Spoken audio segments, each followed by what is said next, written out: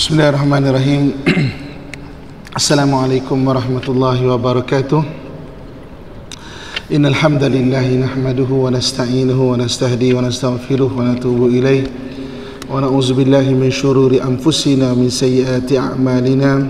May yahdihillahu fala mudilla lahu wa may yudlilhu falan tajida lahu waliyyan murshida. Ashhadu an la ilaha illallah wahdahu la sharika lahu شريك له وأشهد أن محمدا عبده ورسوله اللهم صل وسلم على سيدنا محمد وعلى آله وأصحابه أجمعين أما بعد Alhamdulillah puji dan syukur kita panjatkan kehadrat Allah Subhanahu wa taala dengan limpahan kurniaan dan rahmatnya pada pagi yang berbahagia ini kita sulamkan pagi ini dengan sedikit majlis ilmu mudah-mudahan sedikit yang kita kongsi memberi manfaat kepada kita dapat kita jadikan satu ilmu yang berguna dalam usia kita untuk mengabdikan diri pada Allah Subhanahu wa taala insya-Allah.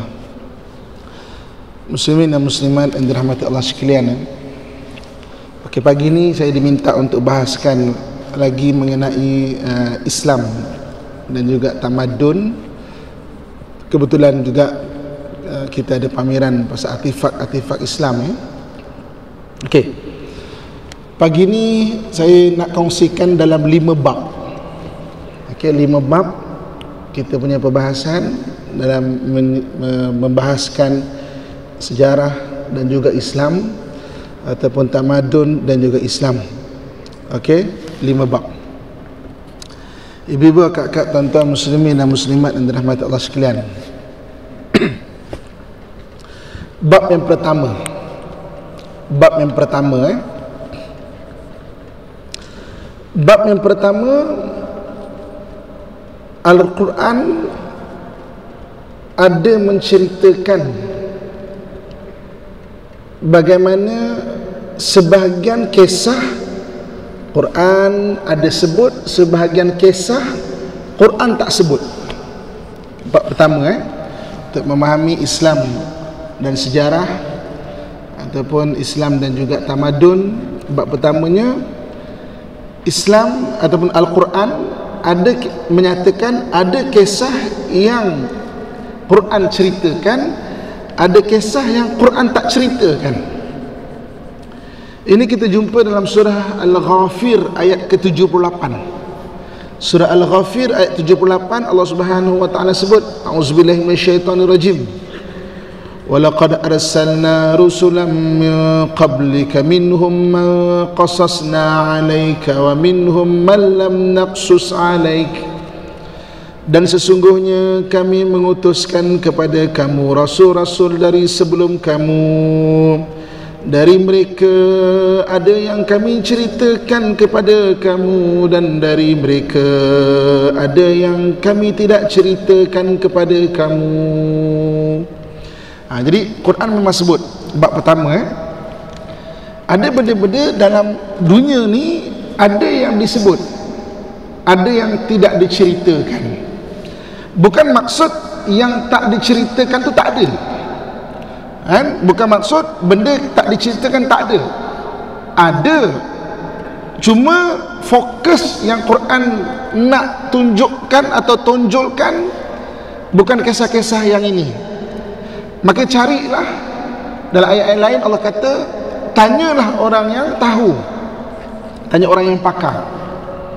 Sebagai contoh ibu-ibu akak-akak tuan-tuan muslim muslimat sekalian eh. Sebagai contoh dalam Quran Allah Subhanahu wa taala cerita mengenai uh, bagaimana kita semua daripada Adam alaihi salam. Tapi bila Adam diturunkan wallahu alam. Sebahagian ahli sirah menyatakan Adam ni baru 7000 ke 10000 tahun saja lepas. 7 ke 10000 tahun yang lepas. Kan maksudnya daripada Nabi Adam AS sampai Nabi Isa AS lebih kurang 7000 tahun lebih kurang eh? Kan Isa ke kita lebih kurang 2000 tahun. Kurang lebih lah. 7 sampai 10000 tahun. Habis tu ditemui satu jasad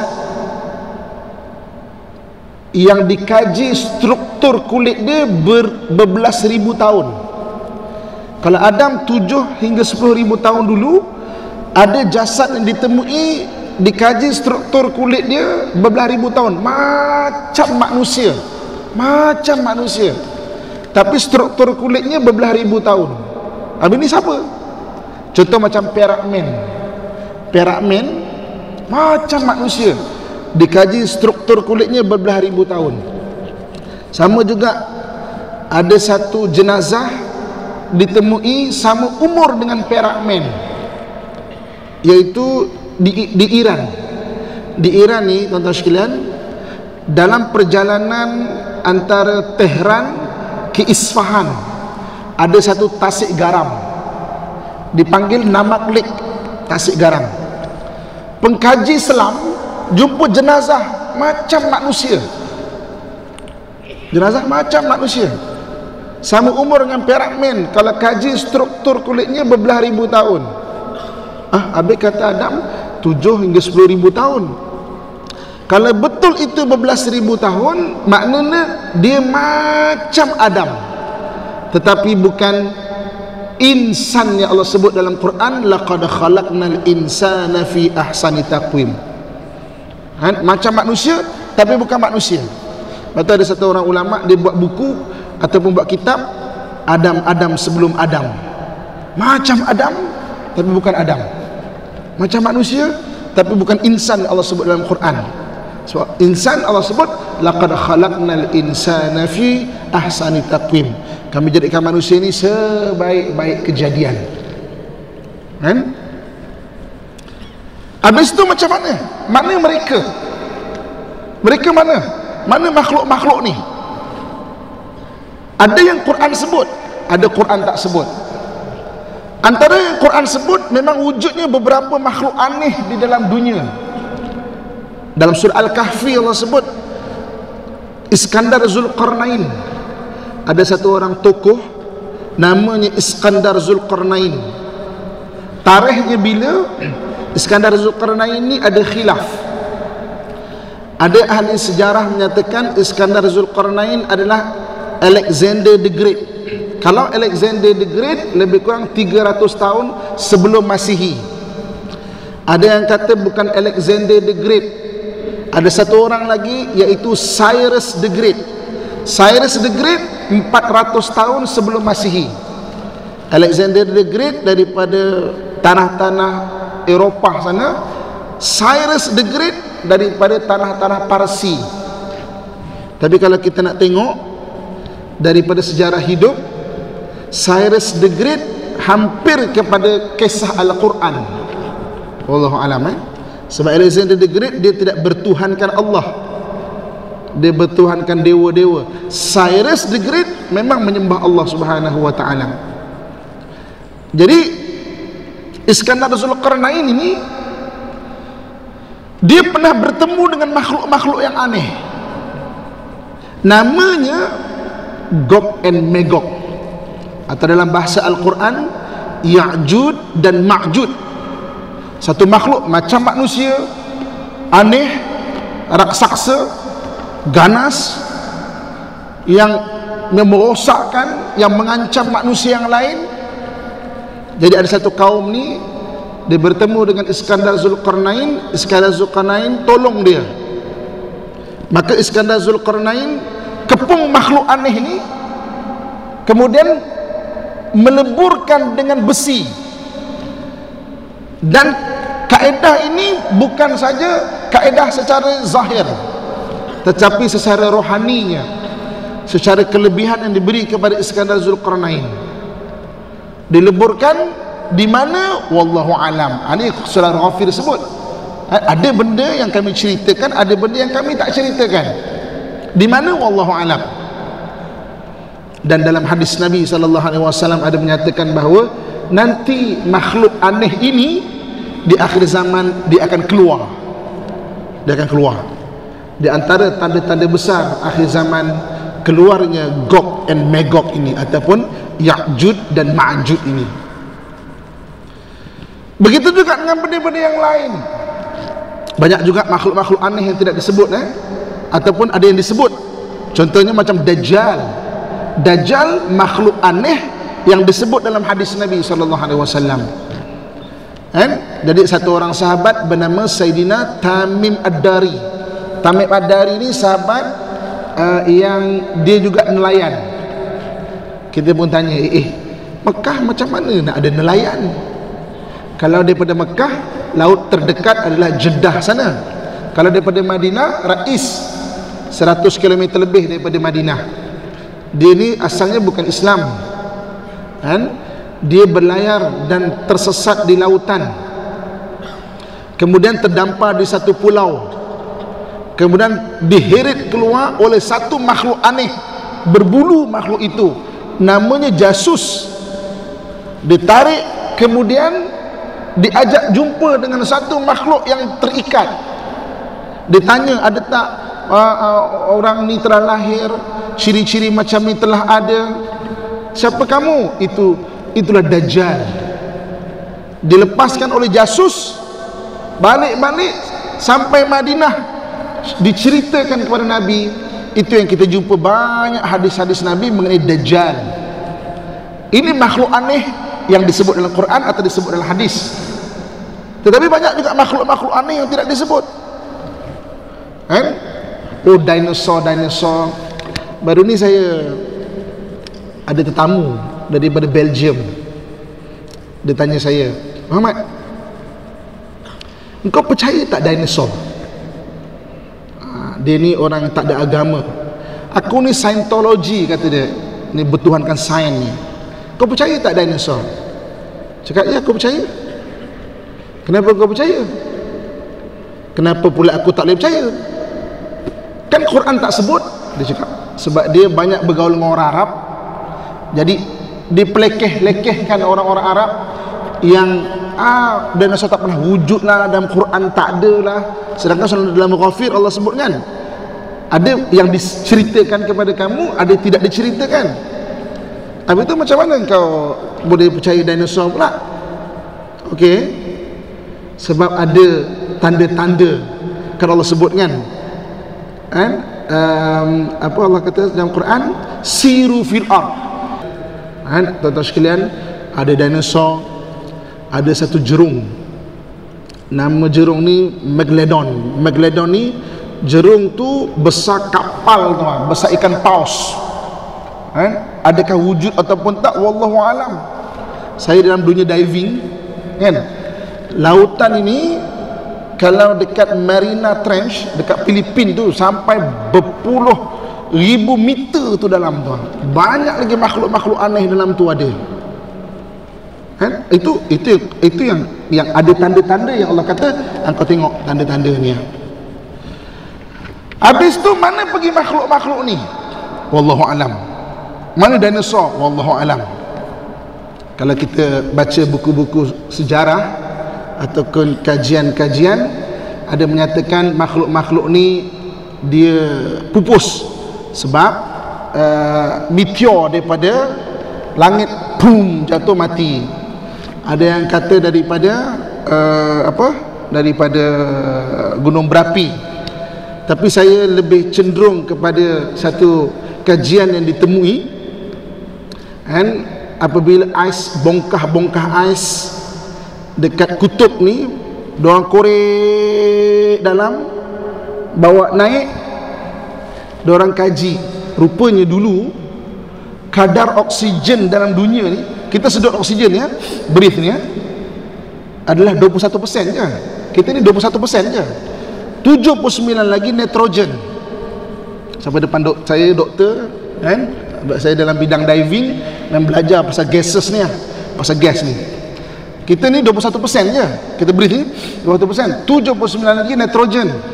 Dulu dunia ni oksigen dia 30% so tiba-tiba drop drop drop drop drop drop drop jadi binatang-binatang besar makhluk-makhluk ni tak boleh hidup lah sebab dulu oksigen 30% macam kita lah sekarang 21% kalau oksigen drop drop drop drop drop drop drop sampai 12 ke 11% kita pengsan kan sebab tak suka oksigen kalau drop drop drop drop drop tapi kalau tinggi tinggi tinggi tinggi tinggi tinggi tinggi dia boleh jadi oksigen toxicity keracunan oksigen. Oksigen ni kalau tinggi dia boleh jadi keracunan. Kalau dalam diving dalam diving dia ada kiraan dia. Kalau tidak boleh jadi oxygen toxicity. Kalau oxygen toxicity ni antaranya kita boleh conversion uh, boleh sawan. Kan? Apa jadi kalau kita semua breathe 21 oksigen tiba-tiba oksigen naik balik naik balik naik balik naik balik naik balik naik balik. Kan orang boleh jadi sawan. Bahasa sekarang panggil zombie lah apa. Wallahu alam tau ada yang kami ceritakan ada yang kami tak ceritakan. Sebab besok nak hari kiamat semua manusia macam gila. Macam gila. Macam gila. Orang Islam Allah bagi satu uh, uh, dalam hadis satu satu uh, satu angin berwarna merah. Orang Islam rahmat Allah semua meninggal. Yang gila ni semua yang tak beriman. Itu Quran sebut. Mana gas wujudnya angin berwarna merah. Macam mana wallahu alam. Kan orang jadi gila. Mungkin kadar oksigen makin tinggi balik. Tinggi balik tinggi balik tinggi balik sampai orang jadi gila. Jadi oksigen toxicity jadi jadi conversion jadi jadi apa pun. Ha, ni.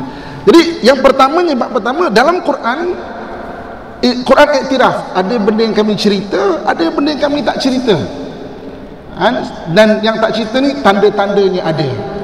Kamu berjalan di muka bumi fanzur kaifa kana akibatul mukazzibin kamu tengok macam mana akibat orang-orang terdahulu macam mana uh, tanda-tanda ciptaan-ciptaan Allah Subhanahu wa taala dan sebagainya.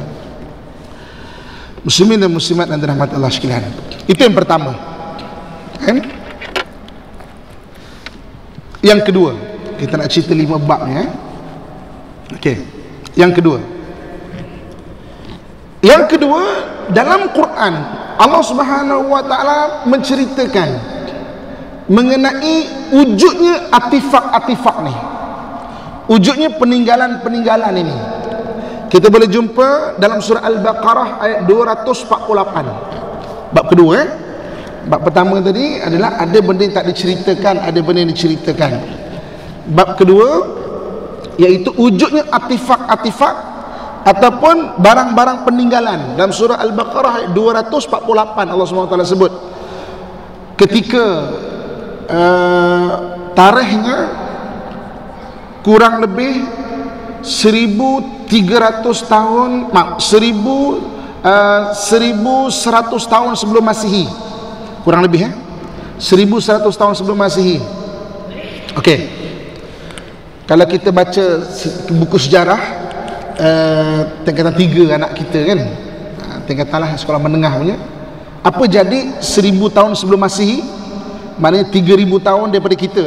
Apa berlaku? Apa berlaku waktu tu besi baru ditemui besi baru ditemui perpindahan daripada iron age ke bronze bronze age ke iron age perpindahan daripada zaman gangsa ke zaman besi besi baru ditemui Okey. Ada satu raja. Raja ni sangat gairah nak cari besi. Raja ni gairah nak cari besi. Sebesi adalah ketika itu adalah satu bahan yang kuat untuk dibuat senjata. Nama raja ni Jalut. Dalam Quran Allah sebut kisah ni. Nama raja ni Jalut. Jadi Jalut ni gairah nak cari besi, dia tawan negara-negara yang dia rasa ada besi banyak tempat dah dia tawan dia tawan, dia tawan, dia tawan, dia tawan akhirnya misi seterusnya adalah untuk menawan Baitul Maqdis Baitul Maqdis eh Baitul Maqdis ni tuan tuan-tuan muslim-muslimat sekalian dia dulu adalah sebuah negara. Negara Palestin sekarang ni itulah Baitul Maqdis. Kan? Jadi Baitul Maqdis ni sebuah negara. Kemudian dia makin kecil makin kecil makin kecil. Kan? Ada masa makin besar makin besar makin besar. Makin kecil makin kecil makin kecil. Ha, sekarang ni kita kenal Baitul Maqdis sebagai ada Masjid Aqsa tu je lah. Masjid Aqsa. Tapi Baitul Maqdis tu sebuah negara. Misi dia misi si si Jalut untuk menawan untuk menawan Baitul Maqdis. Dan dia telah tawan beberapa wilayah di Baitul Maqdis. Tawan dia nak besi. Yang lain bunuh saja maka ketika itu orang-orang di Jerusalem orang-orang di sekitar Baitul Maqdis rasa risau. Sebab tak ada pemimpin yang boleh nak lead nak lead mereka ni untuk berperang. Maka mereka pun jumpa nabi-nabi tolonglah doa tolonglah doa. Datangkan pemimpin yang bagus bagi kami. Okey? Tolonglah.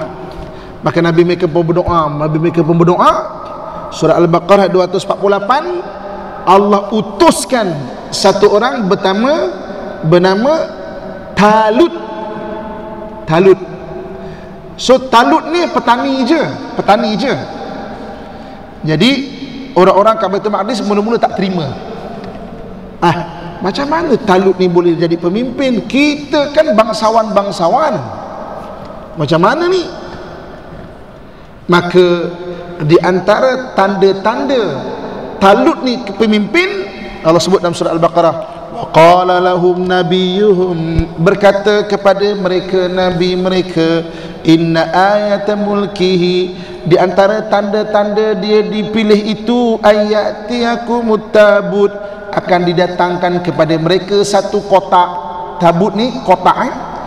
fihi sakinatun min rabbikum. Di situ ada ketenangan dari Tuhan kamu. Wa baqiyatan mimma taraka ali Musa wa ali Harun.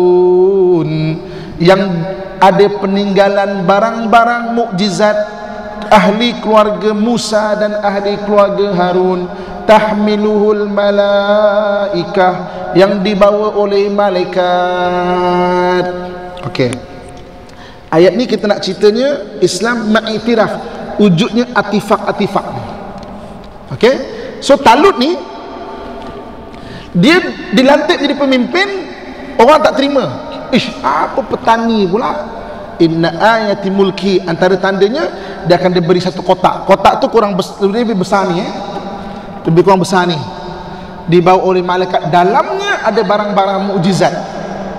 Mabaqiyah min ma taraka ali Musa wa ali Harun ada beberapa muzat nabi-nabi terdahulu maka kotak tu dalam versi bahasa Inggeris kalau kita biasa uh, maknanya dekat pendidikan kita belatar belakang ke Eropah dipanggil Ark of Covenant. Tabut ni Ark of Covenant. Jadi itu tanda-tanda dia. Maknanya artifak-artifak daripada mukjizat nabi-nabi terdahulu. Maka berperang berperanglah antara Jalut dan Talut. Okey? Jadi ketika berperang bertemu dua kumpulan ni dua kumpulan ni berperang maka dulu punya perang memang panglima sendiri ke depan. Ha? so Talut ke depan ke depan ke depan ke depan ke depan sampai jumpa Jalut. Sampai jumpa jaluk dah. Tapi ketika jumpa jaluk tu dia dah agak dia dah agak parah. Luka-luka dah. Bersama dia yang side by side dengan dia ni satu budak kecil. Nama budak ni Daud. Maka Talut kata Daud aku rasa aku tak larat dah ni. Sebab aku dah luka dah ni. Dah, dah cedera dan agak parah. Peperangan hari ini kemenangannya kalau kau berjaya membunuh Jalut. Jadi waktu tu Daud baru berbelas tahun baru. Kan? oleh kerana raja dia, dia dah luka parah dia kata tak apa. Dia cuba. Ok kisah ni panjang eh? Saya pendekkan aja. kalau tidak kuliah kita akan habis pukul 11 nanti kan ok tak ada kita sambung bulan depan. Jadi berperang mereka. Daud ke depan ke depan ke depan akhirnya bertembung dengan Jalut. Lawan berdua ni takdir Allah Subhanahu wa taala Daud dapat membunuh Jalut. Kan? Dapat bunuh dia. Maka menanglah orang-orang yang beriman ketika itu iaitu Talut dan semua tentera dia menang. Yang dapat bunuh adalah Jalut sorry yang dapat bunuh adalah Daud alaihissalam oleh kerana mengenangkan jasa Daud ini dapat bunuh Jalut maka Talut kahwinkan anak perempuannya dengan Daud. Daripada ibu keturunan yang hebat bapa pun keturunan yang hebat lahir anak yang super hebat namanya Sulaiman alaihi salam yang bukan saja memerintah manusia tapi jin binatang-binatang angin pun boleh diperintahnya. Ha, sebab itu antara mukjizat Daud waktu zaman dia besi baru ditemui. Perpindahan antara Bronze Age ke Iron Age. Ha, kita cerita sikit pasal tabut eh. Tabut ni tabut ni berada kemudian diturunkan daripada zaman ke zaman. Sebagian ahli sirah ahli sejarah menyatakan ketika zaman Nabi Sulaiman alaihissalam Nabi Sulaiman ni kan boleh perintah jin boleh perintah angin. Nabi Sulaiman memerangi sihir. Nabi Sulaiman perangi sihir. Sebagian ahli rawi ataupun ahli sirah menyatakan dalam tabut tu Nabi Sulaiman kumpul buku-buku sihir letak dalam tu dan buku-buku sihir. Sebab sihir ni memang wujud dalam surah Al-Baqarah. Allah sebut sihir ni yang mengajarnya tiga. Satu syaitan. Bahawa syaitan ni pernah duduk dengan malaikat. Dia tahu benda-benda gaib. Sebahagian ilmu benda gaib. Yang keduanya Dua orang malaikat. Yang satu namanya Harut Yang satu bernama Marut. Dua malaikat. Dalam surah Al-Baqarah Nanti boleh rujuk surah Al-Baqarah eh. So sihir ni diturunkan oleh tiga. Dan sihir itu wujud Jadi tabut ni Terus berada Di, di, di tangan Bani Israel Sampai pada tahun 70 Masihi. 70 Masihi apa jadi 70 Masihi? Waktu tu Baitul Maqdis diserang oleh satu panglima daripada Rom nama panglima ni Titus ataupun Titus kan? Maknanya satu panglima bernama Titus datang Jerusalem perangi orang kat Jerusalem bunuh orang kat Jerusalem hanguskan kota Jerusalem. Ketika itulah tabut hilang di tangan Bani Israel. Hilang tak tahu kat mana. Kan? Ada yang kata dibawa keluar daripada Jerusalem ada yang kata dekat Utopia ada yang kata ditanam di mana-mana. Sebab itulah ketika Israel dapat membina negara pada 1948 mereka gali setiap tempat tempat-tempat bersejarah untuk mencari tabut untuk mencari tabutnya. Yang belum mereka dapat gali lagi adalah di bawah Masjidil Aqsa. Ha, sebab itu sampai sekarang memang mereka berusaha untuk gali. Sebab saya selalu pergi ke Masjid Aqsa. Dekat bawah Masjid Aqsa tu tuan-tuan sekalian ada satu perpustakaan lama. Nama perpustakaan tu Maktabah Hittiniyah dekat bawah tu ada lebih setengah juta kitab-kitab manuskrip-manuskrip kan? Saya biasa pergi ke sana orang sana dia percaya dekat kita dia memang bagi tolong selamatkan. Dia letakkan di bawah Masjid Aqsa supaya Yahudi tak boleh nak ambil. Kan? Dekat pada saya banyak kitab-kitab. Saya buat rombongan pun banyak rombongan saya dapat. Quran lama kitab lama dan sebagainya. Macam-macam. Dekat kau selamatkan tak boleh bawa banyak-banyak. Memang sekali datang tu bagi 2 3 2 3 2 3 2 3 ni amanah kau sampaikan. Kau ambil. Kan? Ha, itu di bawah di bawah Masjid Al-Aqsa. Okey? Jadi saya ada satu buku yang dibagi sana. Empat jilid tau. Besar. Okey? Uh, salah satu buku yang saya dapat empat jilid. Uh, tempat-tempat yang Yahudi dah gali. Empat jilid tuan-tuan sekalian seluruh Palestin tu dah digali lah kecuali bawah Masjid Aqsa lagi belum. Apakah mereka akan jumpa ke tak? Wallahu alam. Hadis pun tak sebut Quran pun tak sebut. Mereka jumpa balik tabuk tu wallahu alam. Ha, tu kata sebahagian cerita kami kisahkan sebahagian cerita kami tak cerita. Kan?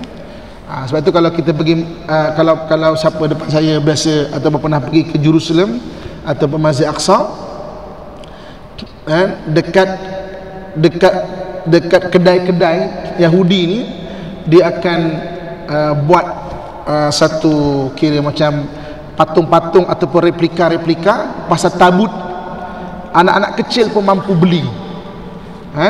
maksudnya dikempenkan untuk mencari tabut tu lah. ataupun Ark of Covenant ni orang Yahudi ni tuan-tuan kita rasa eh ya ke Yahudi ni percaya hadis ya dia percaya Al-Quran orang Yahudi ni oleh kerana banyaknya Nabi dan Rasul dilahirkan daripada kalangan orang Yahudi nature percaya benda gaib memang ada kat diri dia. Nature benda gaib. Sebab tu dia percaya hadis. Kita pelik. Sebab nature benda gaib tu dia percaya memang ada. Sebab dia banyak nabi dan rasul di kalangan mereka kan. Jadi benda-benda gaib ni dia, dia biasa dengar. Sebab orang Yahudi lebih khurafat daripada mana-mana bangsa kat dunia. Lebih khurafat daripada orang Melayu pun Melayu ada juga kan? Dia lagi khurafat. Badan dia penuh tangkal-tangkalnya.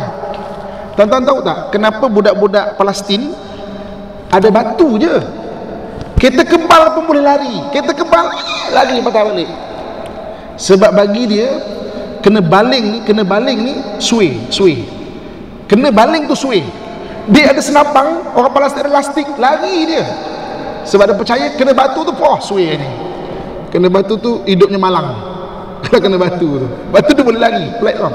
Saya kalau pergi sana saya suka menyakat juga.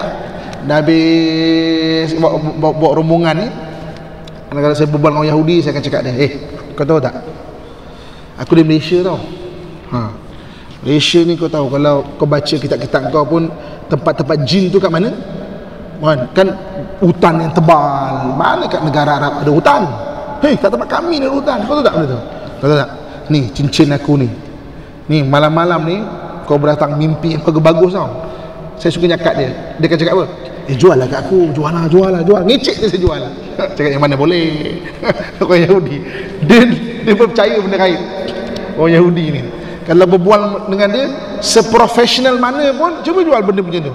Tetap tengok apa benda lah dia ni. Percaya dia macam ni. Ha, sebab tu dalam hadis Nabi sebut kan besok berlaku peperangan antara orang Islam dan orang Yahudi semua batu-batu dan pokok-pokok mengeluarkan gelombang yang boleh difahami.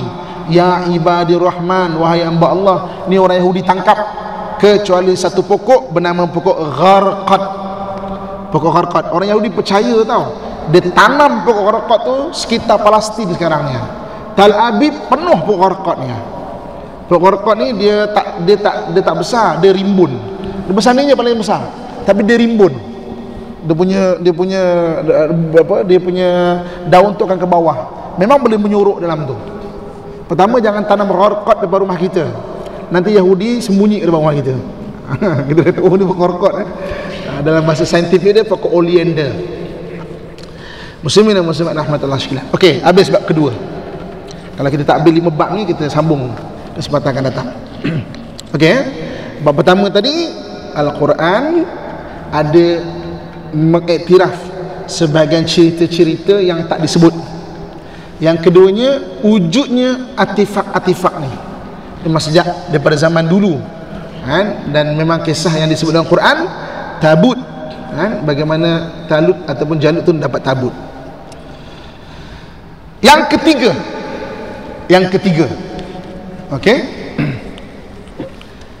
hebatnya Al-Quran dalam dalam konteks kisah-kisah ataupun dalam konteks uh, sejarah ya. Quran dan juga hadis ya. Hebatnya Al-Quran dan hadis ni tuan-tuan sekalian, ada kisah-kisah dia yang diceritakan benda tu belum berlaku pun. Benda tu belum berlaku. Tapi oleh kerana diceritakan oleh Al-Quran benda tu berlaku. Hebat oh. Antaranya contoh surah Rum kita baca surah Rum pada hari ini.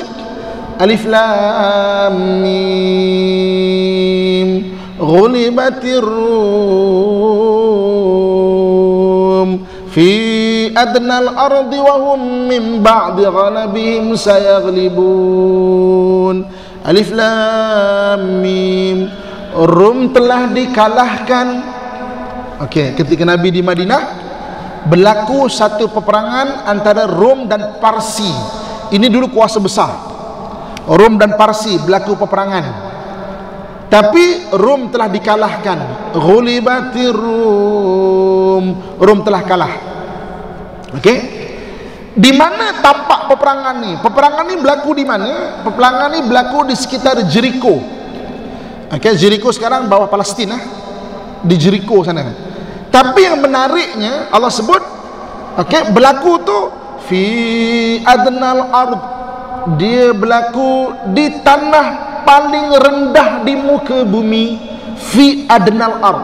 Tempat yang paling rendah di muka bumi. Hum min ba'di ghalabihim sayaghlibun nanti Rom akan dapat mengalahkan kembali Parsi ini. Okey. Ni perang berlaku besar ni. Ayat turun. Orang orang orang kafir jahiliah kata apa? eh, mana boleh Rom menang nanti? Sekarang ni zaman Parsi tengah kuat. Mana takkan mungkin? Takkan mungkin Rom akan menang. Kan sebab Parsi tengah kuat Rom tengah krisis dia punya negara. Kan? Jericho tu jajahan Rom sebenarnya. Jericho jajahan Rom. Jadi Parsi datang rampas negara dia. Fi adnal ard jadi sahabat-sahabat semua macam ish betul ke ni ya? Betul ke ni ya? Suspend juga tahu sebab Quran diturunkan. Kisah ni nanti Rom akan dapat kalahkan balik. Kalau tak dapat kalahkan adakah Quran tak betul? Berdebar-debar ni. Eh betul ke betul ke? Tak beberapa tahun selepas itu tuan-tuan sekalian Rom datang balik perang dengan Parsi Rom menang. Waktu tu bertakbir sahabat-sahabat bukan takbir sebab Rom menang itu bertakbir sebab benarnya Al-Quran itu ha, jadi Quran ni ada kisah-kisah yang dia ceritakan yang belum berlaku okay, saya nak fokus mukjizat Quran pertama pada peperangan Rom dan Parsi ini Okey, maknanya tak tak berlaku lagi Quran cerita mesti akan menang. Menang sungguh tuan-tuan sekalian. Kemudian satu lagi surah Rum ni yang mukjizat kita boleh tengok adalah Quran cerita peperangan itu berlaku fi adnal ard. Dia berlaku di tempat paling rendah di muka bumi. Eh, eh betul ke Jericho itu tempat paling rendah di muka bumi? Pada kurun ke-19 saintis mengesahkan Jericho tanah paling rendah di muka bumi serendah 420 meter dari paras laut. 420 meter below sea level daripada paras laut. Kan? Dekat situ ada laut mati. Berendah tanah dia rendah. Kalau ikut sejarah kan itu tempat kaumnya Nabi Lut alaihi salam. Karena Nabi Lut diterbalikkan. Boom. Diterbalikkan dihenyak.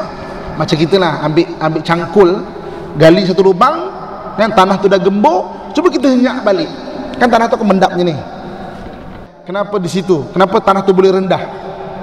Eh? tapi Quran sebut fi adnal am Masya Allah 1400 tahun dulu sahabat-sahabat dapat melihat kebenaran Rom dan Parsi. 1400 tahun kemudian kita dapat saksikan Quran sebut tanah itu tanah paling rendah. Kan hebat Quran ya kan ha, kebaca surah Rum kita akan tengok Al-Quran ni ada ceritakan kisah-kisah yang belum berlaku ada lagi, banyak lagi. Kalau saya nak cerita tak habis saya Saya ambil beberapa contoh ayat. Dalam Quran Allah cerita banyak kisah laut. Banyak kisah laut. Tapi ada dua ayat Allah sebut kalau ini berlaku laut sebagai tanda hari kiamat.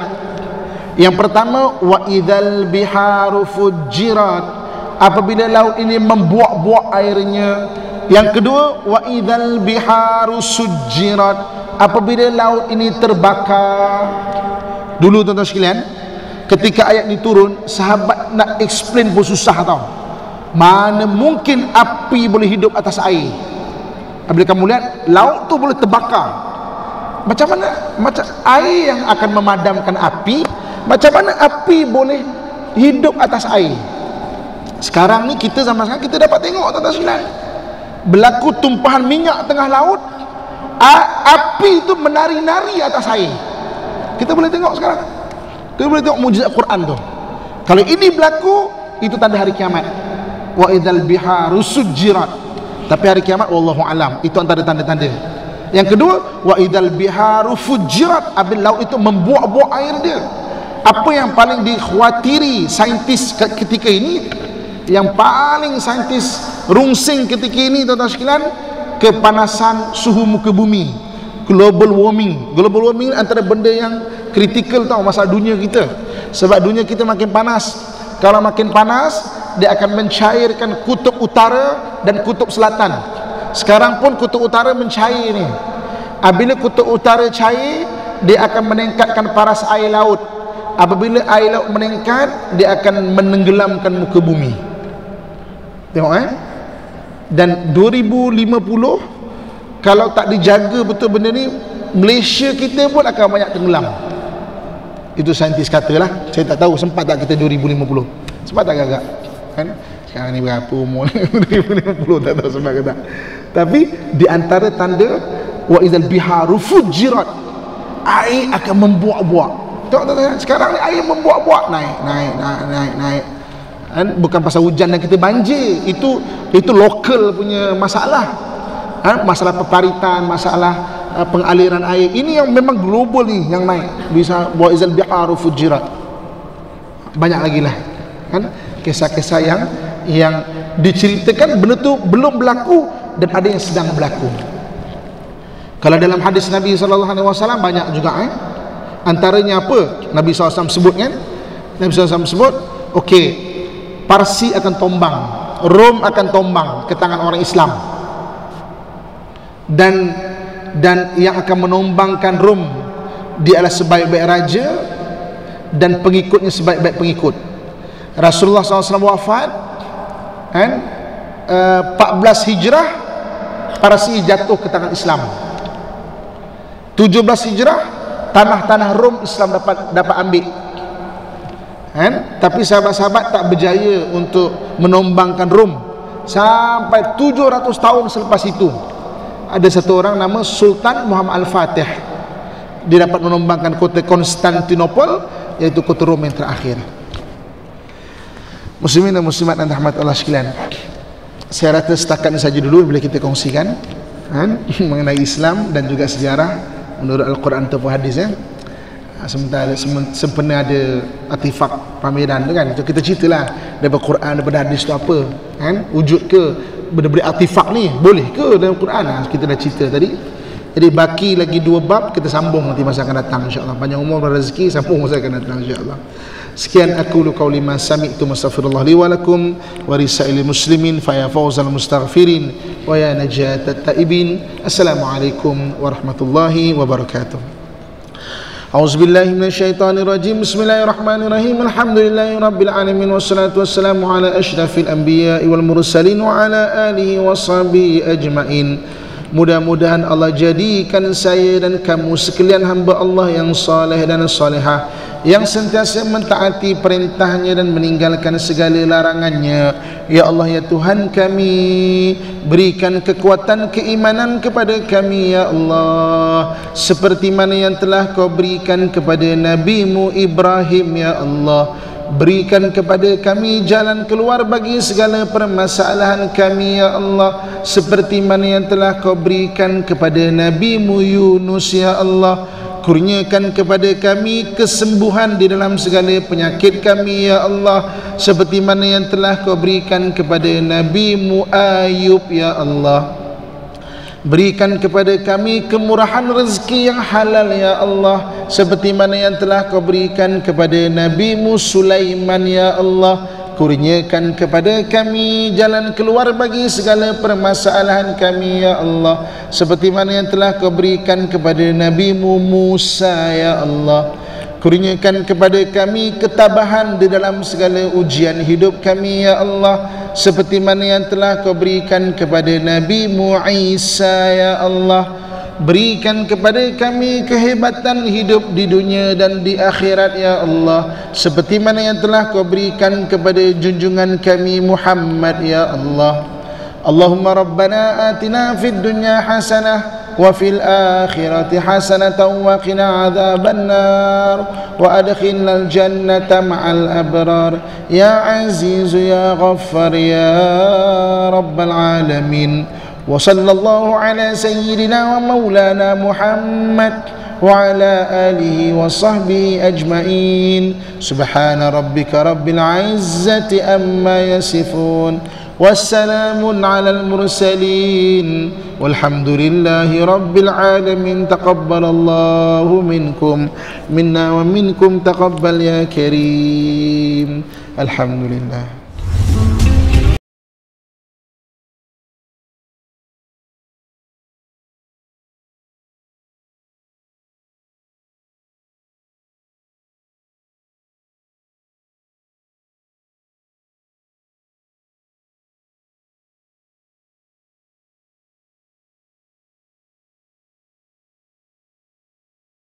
nombras.